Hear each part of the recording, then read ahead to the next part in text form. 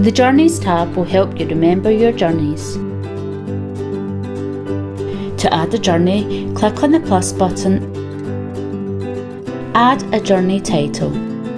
You have the option to add your journey to your to-do list.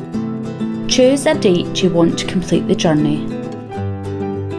Save the journey by clicking on the button at the bottom of the screen. To add a step to your journey, click on the plus button.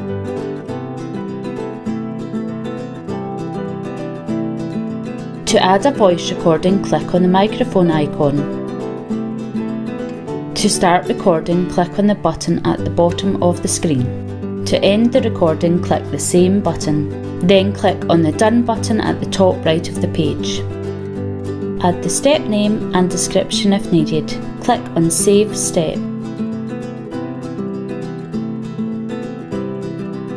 To add a photo, click on the camera icon. Your camera will then open. Take a picture. You'll then have the option to use the photo or retake. Add the step name and description if needed. Click on Save Step. To add a video, click on the camera icon. Your camera will then open. To start recording, click on the button at the bottom of the screen. To stop recording, click on the same button. You'll have the option to retake or use the video. Add the step name and description if needed. Click on Save Step.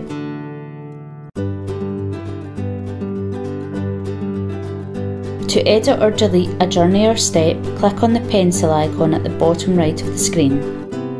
To edit, press the pencil button and edit the information required. Once you're happy with the information, click on Save Journey To delete a journey or step, click on the red icon. Confirm if you would like to delete.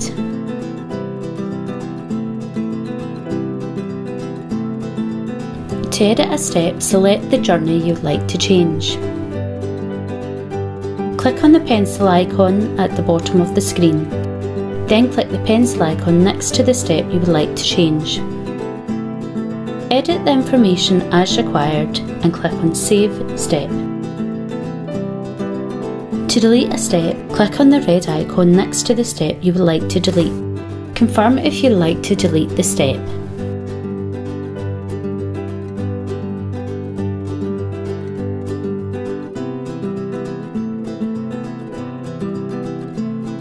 You have the option to send an I have arrived text to your emergency contact. Select your journey and go to the last step on the list. Click the I have arrived button. This will send the text to your emergency contact.